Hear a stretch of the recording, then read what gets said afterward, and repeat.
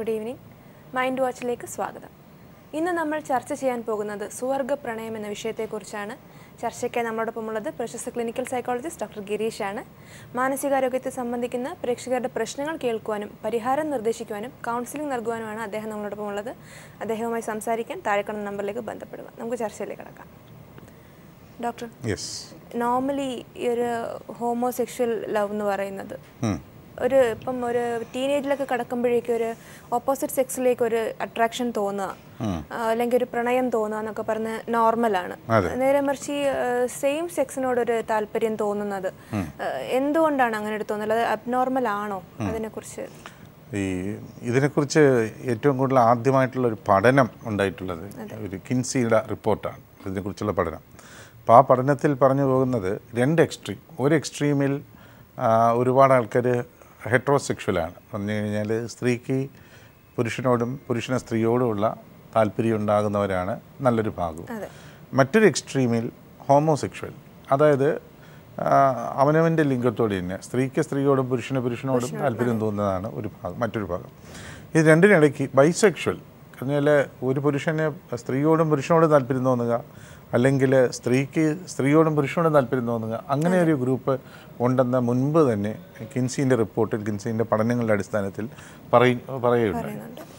അത് ഇന്നിപ്പോൾ പക്ഷേ പല കാരണങ്ങളുടെ അടിസ്ഥാനത്തിൽ സ്വവർഗ രീതിയെക്കുറിച്ച് ഒരുപാട് ശാസ്ത്രീയ പഠനങ്ങളും ഒരുപാട് ചർച്ചകളും ഒരുപാട് ഭിന്നാഭിപ്രായങ്ങളൊക്കെ നടക്കുന്നൊരവസ്ഥയാണ് ഈ മാനസികാരോഗ്യവുമായി ബന്ധപ്പെട്ട് ഒരു കാലഘട്ടത്ത് സ്വവർഗ രീതി ആദ്യകാലങ്ങളിൽ സ്വവർഗ രീതി അബ്നോർമലാണെന്നും പിന്നെ അതൊരു വ്യത്യസ്തമായ അവസ്ഥയാണെന്നും ഇപ്പോൾ അതൊരു സെക്ഷൽ മൈനോറിറ്റി ഭിന്ന ഒരു തൽ വ്യത്യസ്ത താല്പര്യം ഉണ്ടെന്നേ ഉള്ളൂ. പക്ഷേ അതൊരു രോഗമായി പരിഗണിക്കേണ്ടതില്ല എന്നും ഉള്ള നിലയ്ക്ക് അത് ചർച്ചകളിൽ പോകുന്നുണ്ട്. എന്തുകൊണ്ടത് എന്ന് ചോദിക്കുന്നതിനെക്കുറിച്ച് വ്യത്യസ്തമായ കാരണങ്ങൾ പറഞ്ഞു പോകുന്നു. പ്രധാനമായിട്ടും ഈ സ്വർഗരീതിയെ ആ അർത്ഥത്തിൽ കാണുമ്പോൾ രണ്ട് നിലയ്ക്കാണ് സാറ്റ് ക്ലാസിഫൈ ചെയ്യുന്നത്. ഒന്ന് ഹോമോസെക്ഷുവാലിറ്റി ഈഗോ സിന്റോണിയ മറ്റൊന്ന് ഹോമോസെക്ഷുവാലിറ്റി ഈഗോ ഡിസ്റ്റോണിയ എന്ന് വിളിക്കും. ഈഗോ സിന്റോണിയ എന്ന് പറയുന്നത് ബാല്യകാലം മുതൽക്ക് തന്നെ ഒരു വ്യക്തിക്ക് അവന്റെതായ സെക്സിനോട് ജെൻഡറിനോട് താല്പര്യം കാണുകയും ആദ്യം മുതൽക്ക് തന്നെ അത്തരം ഒരു ഇന്റേർണൽ കമ്പൽഷൻ ഒരു സ്വകാര്യമായ സ്വീകാര്യത ഉണ്ടാവുകയും അതിലേക്ക് കടക്കുവാൻ വേണ്ടിയുള്ള പ്രാഥമികമായ ഇമേജുകൾ ആദ്യം തന്നെ ഒരു ബോണ്ടിങ് ഇമേജ് ഉണ്ടാകുമ്പോൾ തന്നെ അവന്റെ മനസ്സിലുണ്ടാകുന്നത് സ്വന്തം വർഗത്തിൽപ്പെട്ട വ്യക്തിയുമായിട്ടുണ്ടാകുന്ന രീതിക്കുള്ള താല്പര്യമാണ് എതിർലിംഗത്തോടല്ല. അത്തരം ഉണ്ടാകുകയും തുടർന്ന് അവന്റെ കൗമാരത്തിലോ ബാല്യം കുറച്ച് മുതിർന്നു വരുമ്പോഴോ അത്തരം അവസരങ്ങളിൽ കടന്നു പോകുമ്പോൾ അതിനുശേഷം അത് ആസ്വദിക്കുകയും അതിൽ കുറ്റബോധവും തെറ്റും അനുഭവപ്പെടാതിരിക്കുകയും ചെയ്യുന്നതാണ് ഈഗോ സിന്റോണിയ. അപ്പം അത് ഒരു ഗ്രൂപ്പ്. രണ്ടാമത്തത് ഈഗോ ഡിസ്റ്റോണിയ. ഇപ്പോൾ ഒരു വ്യക്തിക്ക് സ്വവർഗത്തിൽപ്പെട്ട വ്യക്തികളുമായി പ്രണയമോ അത്തരം അനുഭവങ്ങൾ ഉണ്ടാകുന്നു. പക്ഷേ ഉണ്ടാകുന്നത് ഒരു ഇറ്റ്സ് ലൈക്ക് എ കമ്പൽഷൻ ഉണ്ടായി പോകുന്നു ഉണ്ടായിപ്പോയി കഴിഞ്ഞ ശേഷം അത് പാടില്ലായിരുന്നു വേണ്ടിയിരുന്നില്ല. എന്തിനാ അത് എന്നുള്ള കുറ്റബോധവും പ്രയാസം അല്ല ആ, കുറ്റബോധവും പ്രയാസവും വിഷാദവും ഒക്കെ ഉണ്ടാകുന്നതാണ് രണ്ടാമത്തെ ഗ്രൂപ്പ് ഇതിൽ ആദ്യത്തെ ഗ്രൂപ്പിൽ പലപ്പോഴും കണ്ടുവരുന്നത് ജനിത ജനിക്കുന്ന അവസരത്തിൽ തന്നെയും ചില ഒരുപക്ഷെ ചില ബയോളജിക്കലായിട്ടുള്ള ഫാക്ടേഴ്സ് കാരണം say it could be metabolic errors during ഒരു ഭ്രൂണം ഫോം ചെയ്യുന്ന അവസ്ഥയിലുണ്ടാകുന്ന ചില മെറ്റബോളിക് എറേഴ്സ് ഇപ്പം ഇന്നഡിക്വറ്റ് ല്യൂണൈസേഷൻ എന്ന് പറയുന്ന ചില ജീവശാസ്ത്രപരമായ ചില പരിമിതികൾ ചില ചില അക്ഷരത്തെറ്റുകൾ ഒക്കെ കാരണമായിട്ട് പ്രോഗ്രാമിങ്ങിൽ തന്നെ ഉണ്ടാകുന്ന കുഴപ്പമായിട്ട് സെക്സ് ഡിഫറൻസിയേഷൻ നടക്കുമ്പോൾ തന്നെ ഈ ഒരു പ്രശ്നം ഉണ്ടാകുന്നവരാണ് ഈഗോ സിന്റോണിയ എന്ന് വിളിക്കുന്നത്. ഈഗോ ഡിസ്റ്റോണിയ എന്ന് വിളിക്കുന്നത് ആ വിധത്തിലല്ല. അവിടെ സംഭവിക്കുക എന്ന് പറഞ്ഞു കഴിഞ്ഞാൽ ഒരു പക്ഷേ ജനിക്കുന്നതൊക്കെ ഒരാൾ male body with male gender female with female തന്നെയാണ്. മനസ്സും ശരീരവും ഒക്കെ തന്നെയാണ്. ബട്ട് ദെൻ ഇപ്പോൾ ഒരു ആദ്യ അതിൽ മുതൽ മുതൽക്ക് തന്നെ ആൺകുട്ടികളുടെ കൂടെ മാത്രം ചിലവഴിക്കുക ഹോസ്റ്റൽ നിൽക്കുക പെൺകുട്ടികളുമായിട്ട് വ്യക്തിബന്ധമോ സൗഹൃദ ബന്ധമോ ഉണ്ടാക്കാനുള്ള അവസരങ്ങൾ പാടെ നിഷേധിക്കപ്പെട്ടു പോവുക ആ വരുന്ന ആൾക്കാർ അപ്പോൾ അത് അങ്ങനെയുള്ള ആൾക്കാർ സാഹചര്യങ്ങളുടെ പ്രത്യേകത കാരണവും അടുപ്പവും ഒക്കെ സ്നേഹവും ഷെയർ ചെയ്യാനുള്ള താല്പര്യവും കാരണവും ഗെയ്സ് അല്ലെങ്കിൽ ഹോമോസെക്ഷൽസ് ആയിട്ട് മാറുന്നു. പെൺകുട്ടികളും ഇതുപോലെ ഹോസ്റ്റലിലോ മറ്റോ നിന്ന് പോകുന്നു. അവിടെ മറ്റൊരു അവസരം ലഭിക്കുന്നില്ല. അതിന്റെ ഫലമായിട്ട് ലെസ്ബിയൻ അറ്റൻഡൻസി ബട്ട് അത്തരം അവസരങ്ങളിൽ അവരെന്ത് ചെയ്യുന്നു? ഇത്തരം കാര്യങ്ങൾ ഇടപെട്ട് കഴിഞ്ഞാൽ വീണ്ടും കുറ്റബോധം വേണ്ടായിരുന്നു വേണ്ട ശരിയല്ല തെറ്റാണെന്നുള്ള വിഷാദം.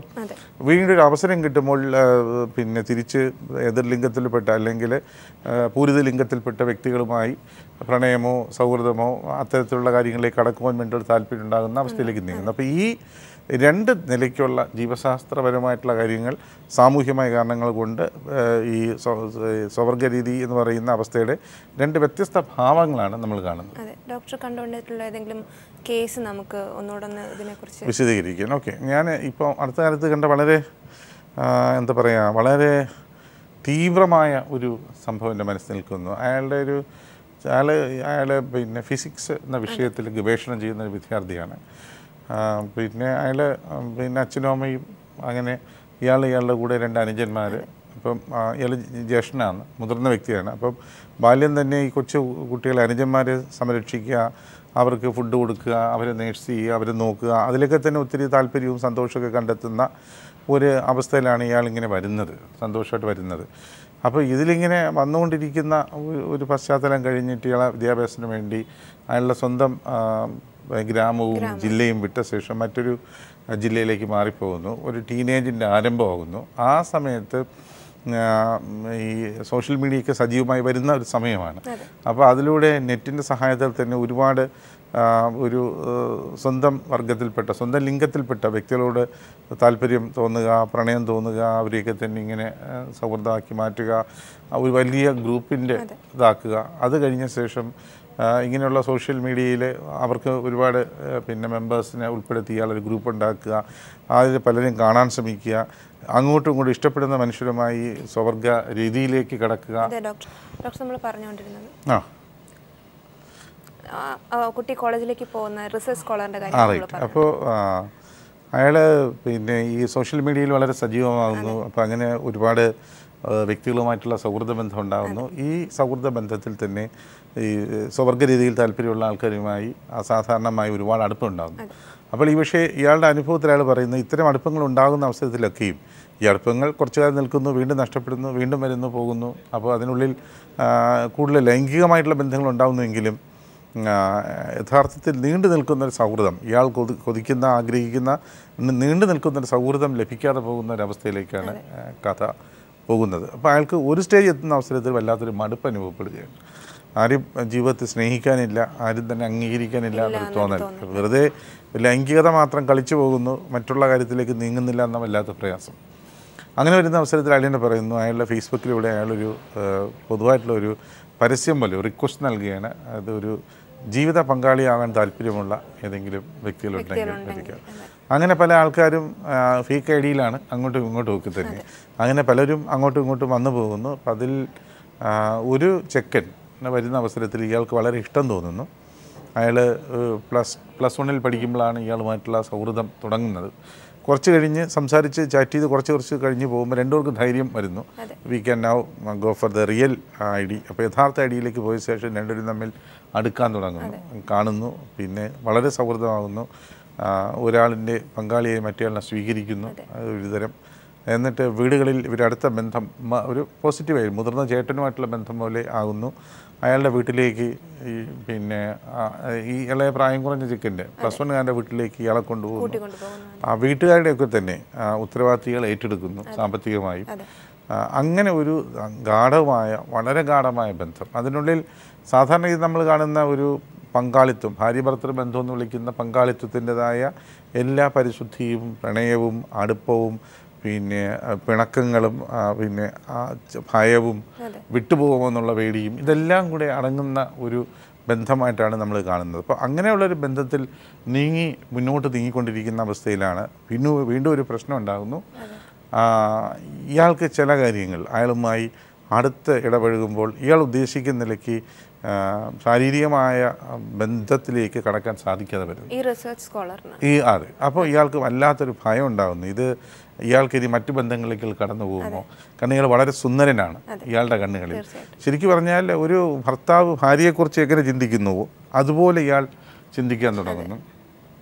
അതിനുശേഷം ഇവർ തമ്മിൽ വഴക്ക്. വഴക്ക് ഉണ്ടായിക്കഴിഞ്ഞാലും ഈ തന്റെ ഇണ പെട്ടെന്ന് തന്നെ വീണ്ടും അടുക്കുന്നു. പക്ഷേ ആ വഴക്കിനെ ഇയാൾക്ക് ഉൾക്കൊള്ളാൻ പറ്റുന്നില്ല. അങ്ങനെ അവസാനം ദിവസങ്ങൾക്ക് മുമ്പ് ഇയാൾക്കൊരു ഉറച്ച തീരുമാനത്തിലായി. തനിക്ക് ആരുമില്ല. താൻ ജീവിക്കേണ്ടതില്ല. താൻ ആത്മഹത്യ ചെയ്യാം. ആത്മഹത്യ ചെയ്യാം എന്ന് ചിന്തിക്കുമ്പോഴാണ് ഇയാളൊരു മറു വാക്കിന് വേണ്ടി എന്നെ വിളിക്കുന്നതും. കൺസൾട്ടേഷന് വരുന്നതും ഇപ്പോൾ ആ പ്രോസസ്സിൽ കടന്നു പോകുന്നതും. ചുരുക്കത്തിൽ ഈ സ്വർഗ രീതി ബന്ധത്തിലും ഞാൻ കണ്ടത് സാധാരണഗതിയുള്ള പൂരിത ലിംഗങ്ങളുടെ ഇപ്പം ആൺപെൺ ബന്ധങ്ങൾ കാണുന്ന ദാമ്പത്യ ജീവിതത്തിന്റെ എല്ലാ മധുരവും കയ്പും എല്ലാ ഉത്കണ്ഠകളും സംശയവും പൊസസീവ്നെസ്സും എന്റെതെന്നുള്ള ബോധവും അതേ അവസ്ഥയിൽ അതേ ഭാവത്തിൽ അനുഭവിക്കുന്ന കപ്പിളിനെയാണ്. ഡോക്ടർ ഈ ഫാമിലിയുമായിട്ട് പറയുമ്പോൾ ഫാമിലിയിൽ നിന്നും ഇത് മറച്ചു വെക്കാനാണോ ഇങ്ങനെ ഉള്ള കൂട്ടർ ശ്രമിക്കുക? അതോ എങ്ങനെയാണ് അവർക്ക്? അതോ അതോ ഒരു വിഷയമല്ലേ? അല്ല അത് അതിപ്പോൾ ഇപ്പോഴത്തെ ഏറ്റവും പ്രധാനപ്പെട്ട പ്രശ്നം നമ്മുടെ സമൂഹത്തിന്റെ ഒരു പ്രശ്നമുണ്ട്. അതിപ്പോൾ ഇതിനെക്കുറിച്ച് നടത്തിയിട്ടുള്ള പഠനങ്ങൾ വ്യക്തമാക്കുന്നത് ഈ സ്വവർഗ ലൈംഗിക സ്വഭാവം കാണിക്കുന്ന വ്യക്തികളുടെ ഇടയിൽ വിഷാദവും ആത്മഹത്യാ പ്രവണതയും വളരെ കൂടുതലാണ്. അപ്പോൾ എന്തുകൊണ്ട് ഇവർക്ക് വിഷാദം കൂടുന്നു? എന്തുകൊണ്ട് ആത്മഹത്യാ പ്രവണത കൂടുന്നു ചോദിച്ചു കഴിഞ്ഞാൽ അവരുടെ മനസ്സിന്റെ അനാരോഗ്യമല്ല മറിച്ച് സമൂഹം ഉണ്ടാക്കുന്ന പ്രശ്നങ്ങളാണ്. ഫോർ എക്സാമ്പിൾ നമ്മളൊരു ഹെട്രോസെക്സിസം എന്ന് വിളിക്കുന്ന ഒരു സ്റ്റീരിയോ ടൈപ്പാണ് കാരണം സമൂഹം എപ്പോഴും ആഗ്രഹിക്കുന്നത് പുരുഷനാണെങ്കിൽ സ്ത്രീ സ്ത്രീയാണെങ്കിൽ പുരുഷൻ. അപ്പോൾ അത് ഇങ്ങനെയുള്ള ഒരു വ്യവസ്ഥാപിതമായ പിന്നെ അവസ്ഥയ്ക്ക് മാറി ഏതെങ്കിലും ഒരു ബന്ധം ഉണ്ടാകുന്നുവെങ്കിൽ അത് വൈകൃതമാണെന്ന നിലയ്ക്കും അത് വലിയ കുഴപ്പമുണ്ടാക്കുന്നു എന്ന നിലയ്ക്കും സമൂഹം കാണുന്നു. അപ്പോൾ അങ്ങനെ ഒരു ബയാസ് സമൂഹത്തിനുണ്ട്. ഈ ബയാസ് വല്ലാത്ത കുഴപ്പം സൃഷ്ടിക്കുന്നു. അതൊരു കാര്യം. രണ്ടാമത് വരുന്ന മറ്റൊരു പ്രധാന പ്രശ്നം എന്ന് പറഞ്ഞാൽ ഹോമോഫോബിയ എന്ന് വിളിക്കും. കാരണം സ്വർഗ രീതിയിലുള്ള ആൾക്കാരൊക്കെ തന്നെ വലിയ അപകടകാരികളാണ്. വലിയ കുഴപ്പം പിടിച്ചവരാണ്. അപ്പോൾ ഇവർ സമൂഹത്തിൽ ഒരുപാട് പ്രശ്നം ഉണ്ടാക്കും. ബട്ട് നമ്മുടെ നേരിട്ടുള്ള അനുഭവങ്ങൾ കാണിക്കുന്നത് ഹെട്രോസെക്ഷൽസ് ആണ് കൂടുതൽ റേപ്പും മറ്റുള്ള ലൈംഗിക അതിക്രമങ്ങളും കാണിക്കുന്നത്. സ്വഭാ സ്വ- ഈ ഹോമോസെക്ഷുവൽ ആൾക്കാർ പൊതുവേ ഹെട്രോസെക്ഷൽസ് അപേക്ഷിച്ച് സമൂഹത്തിൽ കുഴപ്പമുണ്ടാക്കുന്ന കാര്യങ്ങളിൽ വളരെ കുറവാണ്. ബട്ട് ഇങ്ങനെ ഇരിക്കുകയും നമ്മുടെ സമൂഹത്തിന്റെ പൊതുധാരണ തിരിച്ചാണ് ഈ പ്രശ്നങ്ങളൊക്കെ ഉള്ളത് കാരണം തന്നെ പലപ്പോഴും ഇത്തരം ആൾക്കാർ സമൂഹത്തിൽ നിന്ന് ഒളിഞ്ഞു നിൽക്കുന്നു മാറി നിൽക്കുന്നു. സമൂഹം ഇന്നും ഇവരെ അംഗീകരിക്കുവാൻ വേണ്ടിയുള്ള ഒരു മനോഭാവ മാറ്റത്തിൽ എത്തിയിട്ടില്ല എന്ന കാരണം തന്നെയാണ് ഈ പ്രശ്നങ്ങൾ ഉണ്ടാകുന്നത് ഡോക്ടർ.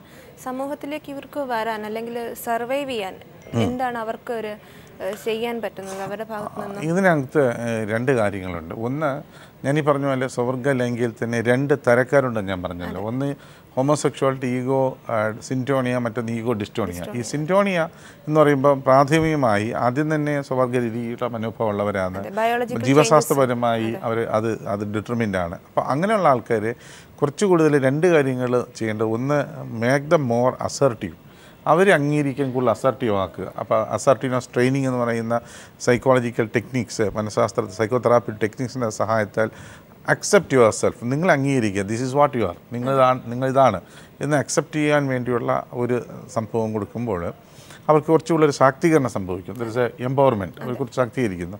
മറ്റു കാര്യം തന്നെ ഇവരുടെ ഹൈ റിസ്ക് ബിഹേവിയർ മാറ്റിയ ശേഷം ലോ റിസ്ക്കും നോ റിസ്കിലേക്ക് കൊണ്ടുവരാൻ ശ്രമിക്കുക. അവരുടെ ലൈംഗികമായ സ്വഭാവങ്ങളെ ഹൈ റിസ്ക് ആയിക്കഴിഞ്ഞാൽ വളരെ ഭീകരാവസ്ഥ ഉണ്ടാകും കാരണം ഈ എച്ച് ഐ വി എയ്ഡ്സ് ലോകത്ത് ഇങ്ങനെ പൊട്ടി വരുന്ന സമയത്ത് പുറപ്പെട്ടു വരുന്ന സമയത്ത് ഡോക്ടർ എബ്രാം വഗീസ് എന്ന് പറയുന്ന ഒരു ഇന്ത്യൻ ജനിച്ച് യു എസിൽ സെറ്റിൽഡ് ആയിട്ടുള്ള ഒരു ഡോക്ടർ ഒരു പുസ്തകം എഴുതി. മൈ ഓൺ കൺട്രി എന്ന് പറഞ്ഞ ശേഷം. അതിനുള്ളിൽ അദ്ദേഹം വിവരിക്കുന്നത് ഈ എയ്ഡ്സ് ഇങ്ങനെ കൂടി വരുന്ന അവസരത്തിൽ എസ്പെഷ്യലി യു എസിലെ പല ഹോസ്പിറ്റൽസിലും സ്വവർഗ രീതിയുള്ള ആൾക്കാരാണ് ഏറ്റവും കൂടുതൽ അഡ്മിറ്റ് ആവുന്നത്. അപ്പോൾ അവിടെ ഒരു തന്റെ പാർട്ട്ണർ തന്റെ പങ്കാളി എയ്ഡ്സ് ബാധിച്ച് ഏത് നിമിഷവും മരിക്കാമെന്ന് പറഞ്ഞ് നിൽക്കുന്ന അവസരത്തിൽ അവരെ നേഴ്സ് ചെയ്യുന്ന പങ്കാളിയുടെയൊക്കെ സ്വർഗ രീതി രീതിക്കാരുടെയൊക്കെ തന്നെ വളരെ ആ, ഹൃദയസ്പർശി ആ ചിത്രങ്ങൾ അദ്ദേഹം ഡോക്ടർ ബ്രാം വർഗീസ് വരച്ച് കാണിക്കുന്നു പുസ്തകത്തിലൂടെ.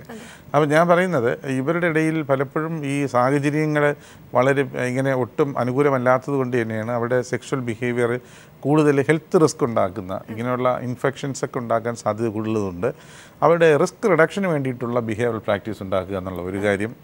രണ്ടാമത്തേത് അവരെ അക്സെപ്റ്റ് ചെയ്യാൻ വേണ്ടിയുള്ള assertiveness training you have to accept yourself that X is X Y is Y അപ്പോൾ ഈ not try to ape Y you you accept yourself as X ഇത് രണ്ട് രണ്ടാണ്. നമ്മൾ അക്സെപ്റ്റ് ചെയ്യുക അക്സെപ്റ്റ് ചെയ്യുക. അപ്പോൾ അതിനുള്ള രണ്ട് ട്രെയിനിങ്ങും പരിശീലനങ്ങളും റിസ്ക് റിഡക്ഷൻ ഉള്ളതും സെൽഫ് അക്സെപ്റ്റൻസ് ഉള്ള പരിശീലനങ്ങൾ നൽകുകയും സാവധാനം സമൂഹത്തെ ഈ യാഥാർത്ഥ്യങ്ങളെ അംഗീകരിക്കാൻ വേണ്ടിയുള്ള അവയർനെസ് നൽകുകയും ചെയ്യുന്ന അവസരത്തിൽ വ്യക്തിയും വ്യക്തിയും സമൂഹവും മ്യൂച്വലി ഒരു ഇതിനെ സ്വാംശി സ്വീകരിക്കുന്ന ഒരവസ്ഥയിലേക്ക് എത്തിച്ചേരും. ആ വിധത്തിൽ ഒരുപക്ഷെ ഇങ്ങനെ രഹസ്യമായി നിൽക്കേണ്ടി വരുന്ന അവസ്ഥ മാറ്റിയെടുക്കുവാൻ നമുക്ക് സാധിക്കും. സാവധാനം എന്നാണ് ഒരു മാർഗം. അതേസമയം ഞാൻ ഈ പറഞ്ഞ ഈ ഹോമോസെക്ഷുവാലിറ്റി ഈഗോ ഡിസ്റ്റോണിയ. യെസ്. അപ്പോൾ രണ്ടാമത്തെ കണ്ടീഷൻ ഞാൻ പറഞ്ഞ ഈഗോ ഡിസ്റ്റോണിയ. അപ്പോൾ ഈഗോ ഡിസ്റ്റോണിയയ്ക്ക് സംബന്ധിച്ച് പറഞ്ഞു കഴിഞ്ഞാൽ ഈഗോ സിന്റോണിയയുടെ നമ്മൾ സ്വീകരിച്ച ആ ഒരു നിലപാട് അല്ലെങ്കിൽ ഒരു ട്രീറ്റ്മെന്റ് അപ്രോച്ച് അല്ല ഈഗോ ഡിസ്റ്റോണിയുടെ സ്വീകരിക്കുക. കാരണം അവിടെ എന്താ സംഭവിക്കുക? ഈ ഒരു സെക്ഷൽ ആക്റ്റിൽ ഇടപെടുന്ന വ്യക്തിക്ക് ഒരു കുറ്റബോധം ഉണ്ടാകുന്നു he feels guilt and then he wants to come out of it അതെ അതിൽ നിന്ന് പുറത്ത് വന്ന വരണം തീർച്ചയായിട്ടും. ഗോഡ് സെൽഫ് പുഷ്ഡ് ഇൻഡു അപ്പോൾ അങ്ങനെയുള്ള സംഭവമാണ്.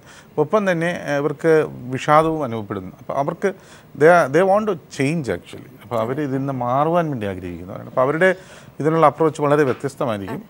പ്രധാനമായിട്ടും പിന്നെ ഈഗോ ഡിസ്റ്റോണിയ ഹോമോസെക്ഷുവാലിറ്റി അത് സ്ത്രീയാണെങ്കിലും പുരുഷനാണെങ്കിലും ലെസ്ബിയൻസ് ആണെങ്കിലും ഏസിനാണെങ്കിലും ചെയ്യാൻ പറ്റുന്ന പ്രധാനപ്പെട്ട ഒരു മാർഗം എന്ന് പറഞ്ഞു കഴിഞ്ഞാൽ ഈ കോവർട്ട് സെൻസിറ്റൈസേഷൻ എന്ന് പറയുന്ന ഒരു ബിഹേവിയർ തെറാപ്പി ടെക്നിക്കാണ് കോവർട്ട് സെൻസിറ്റൈസേഷൻ.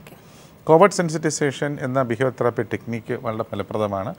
അതുപോലെ തന്നെ പിന്നെ പിന്നെ ഈ masturbatory re practice retraining practice എന്നൊരു സംവിധാനമുണ്ട്. അപ്പോൾ ഇത്തരത്തിലുള്ള ചില ബിഹേവിയർ തെറാപ്പി എന്ന് വിളിക്കുന്ന സാങ്കേതികമായ മനഃശാസ്ത്ര ചികിത്സാ മാർഗം പദ്ധതി അതിനെ ആസ്പദമാക്കിയുള്ള കാര്യങ്ങളാണ് ഇത്തരം ഈ പ്രശ്നങ്ങൾക്ക് ചികിത്സയായിട്ട് നൽകാൻ പറ്റുന്നത്. തീർച്ചയായും ഡോക്ടർ. ഇപ്പോൾ നമ്മൾ പറഞ്ഞത് രണ്ട് കാറ്റഗറി ആയിട്ട് ക്ലാസിഫൈ ചെയ്തിട്ടുണ്ടായിരുന്നല്ലോ. അപ്പോൾ ഈ രണ്ട് കാറ്റഗറിക്കുമുള്ള ട്രീറ്റ്മെന്റ്സ് എങ്ങനെയാണ് നമുക്ക് കൊടുക്കാൻ പറ്റുന്നത്? മെഡിക്കേഷൻ എന്തെങ്കിലും ഉണ്ടോ ഇല്ല ഇല്ല ഇല്ല. ഇതിനകത്തൊരു മെഡിക്കേഷന്റെ പ്രസക്തി വരുന്നില്ല. ആദ്യം പറഞ്ഞതിനകത്ത് ഞാൻ പറഞ്ഞ പോലെ രണ്ട് കാര്യങ്ങളാണ് പ്രധാനമായിട്ടുള്ളത്. അവരെ പിന്നെ അവരുടെ എൻഡിറ്റി ദേ ആർ ഹോമോസെക്ഷുവൽ എന്നുള്ള കാര്യം അംഗീകരിക്കുവാൻ സഹായിക്കുക അവരെ അസർട്ടീവ് ആക്കുക. പലപ്പോഴും ഇവർക്ക് അസർട്ടീവ്നെസ് വളരെ കുറവായിരിക്കും. അസർട്ടീവ്നെസ് ട്രെയിനിങ് എന്ന് പറയുന്നത് വീണ്ടും ഒരു ബിഹേവിയർ തെറാപ്പി ടെക്നിക്കാണ് കൗൺസിലിംഗ് എന്ന വാക്ക് യോജിക്കുന്നതല്ല. അതൊരു അസർട്ടീവ്നെസ് ഒരു ബിഹേവിയർ തെറാപ്പി ഒരു ട്രെയിനിങ് പോലെയാണ്. അപ്പോൾ ആ ട്രെയിനിങ്ങിലൂടെ ഇവർ അസർട്ടീവ് ആക്കുക. ആ നിലയ്ക്ക് ലെറ്റ് ദ അക്സെപ്റ്റ് ദംസെൽസ് ആ നിലയ്ക്കുള്ളൊരു ഇത് കൊടുക്കലാണ് നമുക്ക് വേണ്ടത്. അതുപോലെ തന്നെയാണ് റിസ്ക് കുറയ്ക്കുവാൻ വേണ്ടിയുള്ള safe practices safer sexual practices പഠിപ്പിക്കുക എന്നുള്ളതും ഈ ഒന്നാം ഗ്രൂപ്പിൽപ്പെട്ടവർക്ക് വേണ്ടതാണ്.